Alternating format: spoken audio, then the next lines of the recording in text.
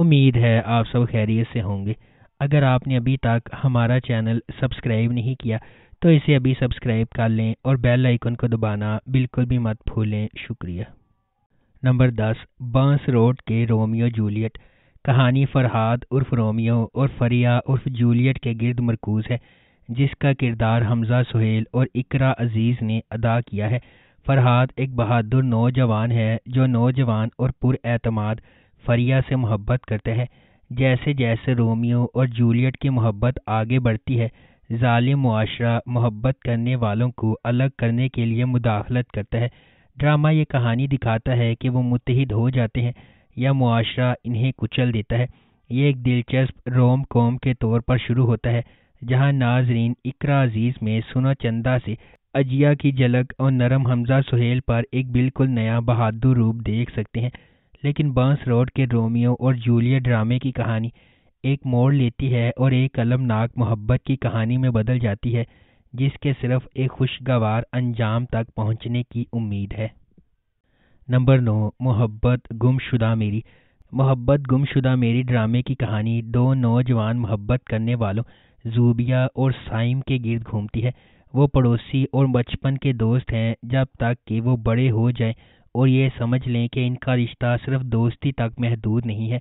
छोटी उम्र में इनकी पुरजोश मोहब्बत इन्हें घरों से भागने का बड़ा कदम उठाने पर मजबूर करती है, जिसके नतीजे में ख़ानदानी रसवाई, ख़ानदानों के दरमियान झगड़े और दिल टूट जाते हैं। वो तमाम तनाज़ात के बाद अलग हो जाते हैं।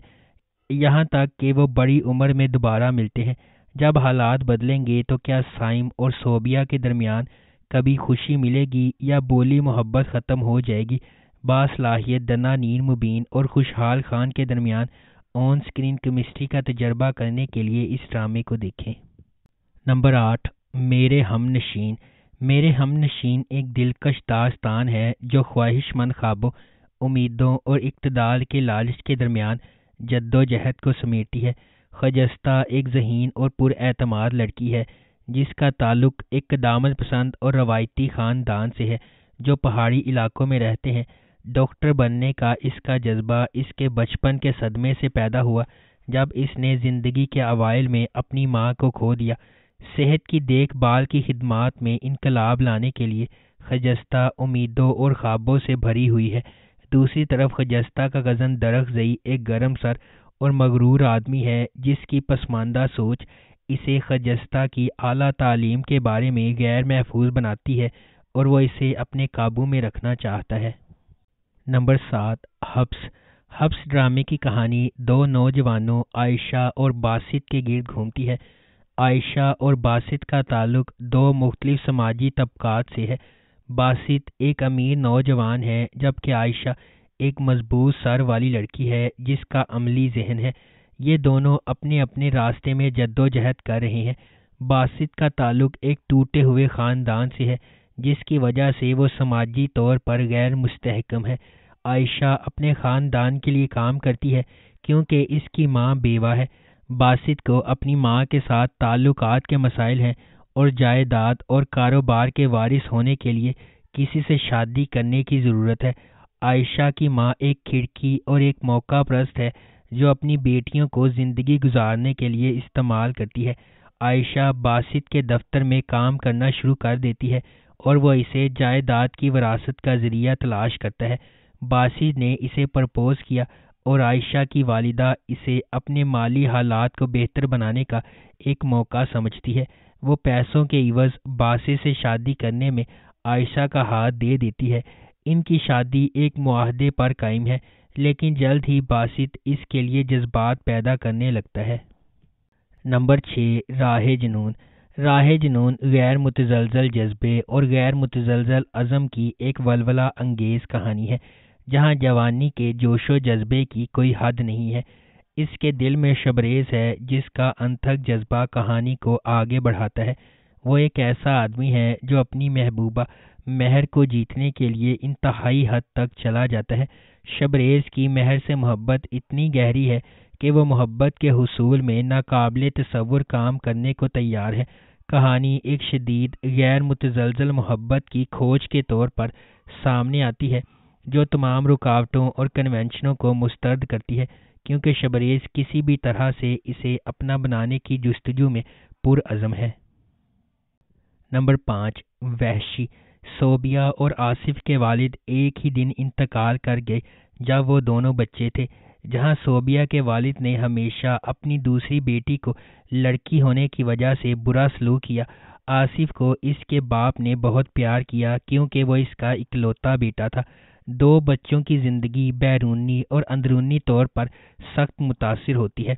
आसिफ की वालिदा ने अपने बेटे की माली मदद के लिए दोबारा शादी कर ली और आसफ के रज़ाई भाई आमिर की देखभाल में खुद को वक़फ़ कर दिया। कुछ साल गुजरते हैं और ये ज़ाहिर होता है कि आसिफ एक वहशी आदमी बन गया है, जो अपने सौतेले बाप के खिलाफ बगावत करता है और एक ऐसा शख्स जो ज़िंदगी में दूसरों के साथ बदसलूकी और मोहब्बत की अदम मौजूदगी की वजह से अपने आप को बरकरार रखता है, जबकि सोबिया एक खुद गर्ज लड़की बन जाती है। जो अपनी ज़िंदगी को सबसे ज़्यादा अहमियत देती है। नंबर चार, झूम। झूम का मोहब्बत, रिश्तों, दिल टूटने और कुर्बानियों की दुनिया में एक सफ़र जो इन दो रूहों की ज़िंदगियों के गिर्द घूमता है, जो अफरा तफरी और बेयकीनी की दुनिया में मोहब्बत पाते हैं, जो इनकी ज़िंदगियों को हमेशा के लिए बदल देता है। आरियान एक नौजवान और ख़ूबसूरत लड़का है, जो अपने दोस्तों का ख्याल रखने वाला और मालिकाना फितरत रखता है। एक तकलीफ़ दे माजी होने के बावजूद, आरियान ज़िंदगी की परेशानियों से मुस्कुराने की कोशिश करता है और अपने दोस्तों की मदद करने से कभी पीछे नहीं हटता है। तहम आर्यन की ज़िंदगी में एक गैर मतव मोड़ आता है, जब वो मरियम से मिलता है, जो एक हमदर्द और मेहरबान औरत है, जो इसकी ज़िंदगी में सूरज की रोशनी बन जाती है, जैसे ही इनका रिश्ता परवान चढ़ने लगता है। आर्यन अपने आप में तब्दीली महसूस करता है। और इस मोहब्बत को कबूल करता है जिससे वो इतने अरसे से महरूम था। नंबर तीन, मेरे हम सफ़र मेरे हम सफ़र हाला के गिर्द घूमता है, जिसे इसके वालिद इसके घर पर छोड़ जाते हैं, जहाँ इसके साथ बुरा सलूक किया जाता है। बाद में इसका कज़न बैरून मुल्क से वापस आता है और इससे शादी करता है और इसे वो इज़्ज़त देता है, जिसकी इसे हमेशा ज़रूरत थी। हाला को इसकी ताई जान ने सारी ज़िंदगी बदसलूकी का निशाना बनाया। इसके कज़न हमज़ा ने इसे इज़्ज़त और प्यार दिया। इस ड्रामे को पाकिस्तान, भारत, बांग्लादेश और नेपाल में बहुत ज़्यादा मकबूलियत मिली। हमज़ा और हाला की केमिस्ट्री को शायकी ने बेहद पसंद किया। इस ड्रामे की टोटल चालीस इकसात हैं और इसे ए आर वाई डिजिटल पर नशर किया गया। नंबर दो, कैसी तेरी खुद गर्जी कैसी तेरी खुद गर्जी की कहानी? एक बिज़नेस टाइकून के बेटे शमशेर के गिर्द घूमती है। जो एक मतवसत तबके के पस मंज़र से ताल्लुक़ रखने वाली महक से मोहब्बत करता है। ड्रामे के दौरान कुछ नाखुशगवार वाक़ात रोनमा होते हैं और महक शमशेर से नफ़रत करने लगती है। चूँकि शमशेर के घर वाले इसके रिश्ते को मंजूर नहीं करते, इसलिए कहानी मज़ीद उलझ जाती है। दानिश तैमूर बतौर शमशेर एक कारोबारी शख्सियत का बेटा है। ज़िद्दी और अपनी मोहब्बत के लिए किसी भी हद तक जाने को तैयार दुर्वशा सलीम बाहैसियत महक एक लेक्चरार की बेटी है। तबीयत में शाइस्ता है और मतवसत तबके के पस मंज़र से ताल्लुक़ रखती है। हमार शुएब बतौर एहसन, महक के कज़न और मंगेतर है। शमशेर एक गैर रवायती माहौल में महक से मोहब्बत करने लगता है और मोहब्बत और नफ़रत के इस रिश्ते में तकदीर खो जाती है। नंबर एक, तेरे बिन। मीरब एक पुरजोश और ख़ूबसूरत नौजवान लड़की है जो अली तालीम हासिल करना चाहती है। इसकी पूरी दुनिया इसके वालदेन के गिर्द घूमती है और वो इन पर सबसे ज़्यादा यकीन करती है। इसकी मज़बूत और पुरमाद शख्सियत इसे अपने आस पास की समाजी नाानसाफ़ियों के ख़िलाफ़ खड़ा करती है। इसके बरक्स मुतसिम का ताल्लुक एक ताकतवर और बासर ख़ानदान से है। वो अपने ख़ानदान के अखलाक और रवायात का एहतराम और कदर करता है और ख़ानदान को नीचा दिखाने से इनकार करता है। अगर आपको हमारी ये वीडियो पसंद आई है तो इसे लाइक करें। शेयर करें और हमारे चैनल को सब्सक्राइब करना बिल्कुल भी मत भूलें। आपका बहुत बहुत शुक्रिया।